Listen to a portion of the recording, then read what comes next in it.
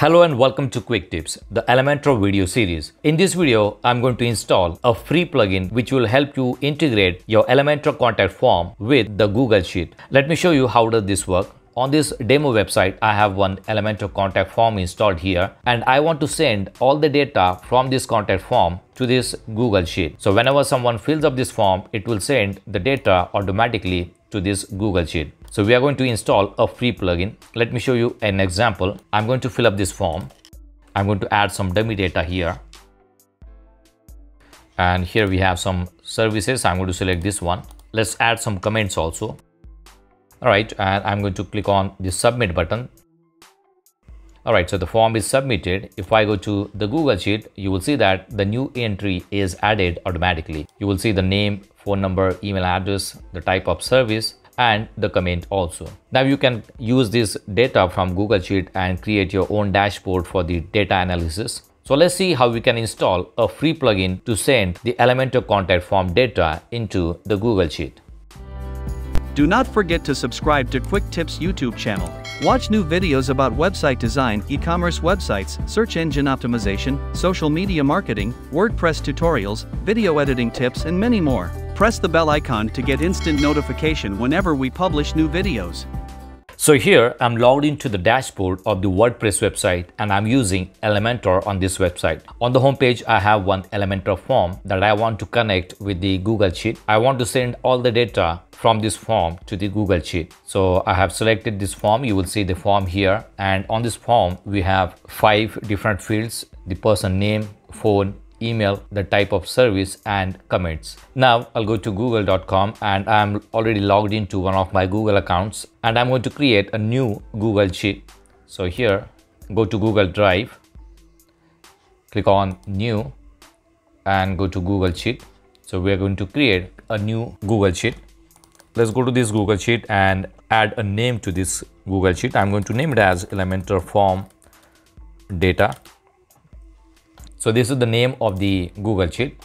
At the top, we are going to add these five fields. So if I go to the first field, the name of the field is your name. So you will see the label here. So I'm going to select the same label from here and I'm going to add that as the first header. Then go to the second one and add the label to the second column here. Let's add all the labels here. A, B, C, D, E, F.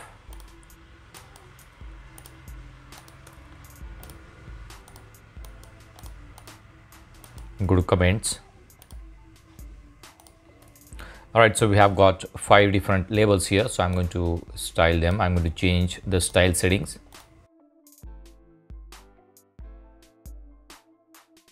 All right, now let's go back to the dashboard here and we are going to add a plugin. So let's go to dashboard click on plugins and go to add new plugins.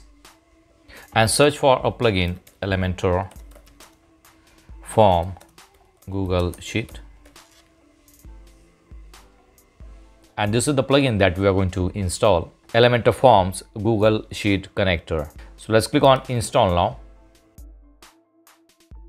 And click on activate all right so the plugin is activated. I'm going to skip this step. Now we're on the dashboard. In the left hand panel you will see this option here under elementor google sheet connector. Here you will see the first option we need to integrate the google sheet with this wordpress website first. So there are two different options use existing client or secret key or use the manual client and secret key. In the second option, you need to get the client and the secret key from the Google API configuration.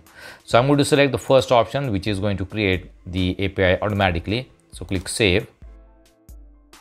Right now here you will see the first option signing with your Google. So here, so here you need to select your Google account and click continue and let's select both the options see the information. So we need to grant the permission here so that the plugin will be able to access the google sheet and the google drive. Click continue. You will see the google access code is there. Click on save and authenticate. All right so it says that the email account is connected. If you want to deactivate you can simply click on it and it will get deactivated. Now click on this option click here to fetch the sheet details. So click on this option here click here. Right so it says fetch all sheet details. Now let's go to the contact form. Let me refresh it. Let's go to the contact form here. And here you will see an option actions after submit. So this is the option where you can set the new action. So click on it. Right now there are two actions already collect submission and email the submission click on the plus sign and select the option here g sheet connector. And you will get that option added here. Click on it. Select the sheet name. So i'm going to select that name elementor form data. You will see it here. We have created this new google sheet. So we need to select that one. And sheet 1 right now it is set to sheet 1 if you want to add multiple sheets you can create new sheet and change the names of the sheet. So right now i have selected this one. All right now click on view spreadsheet. So this is the spreadsheet and the second option is spreadsheet fetching. So it is going to fetch the data. Successfully fetched. Stay on the page. Click on update. So here everything looks good. Now let's go to the website. Let me refresh the page.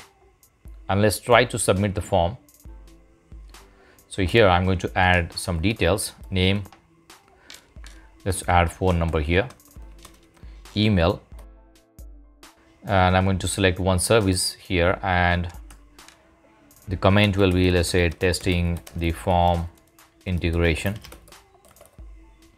and click on get a quote. This is the name on the button.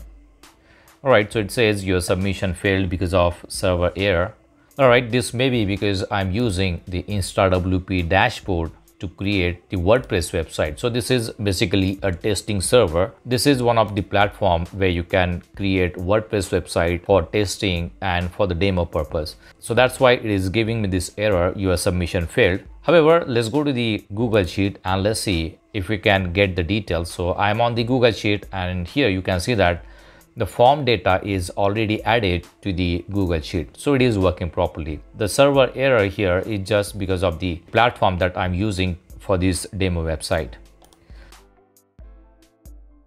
Right, and let's select all the tables and center align them. Right, so this one looks good. If you want to freeze the first row, you can freeze that one.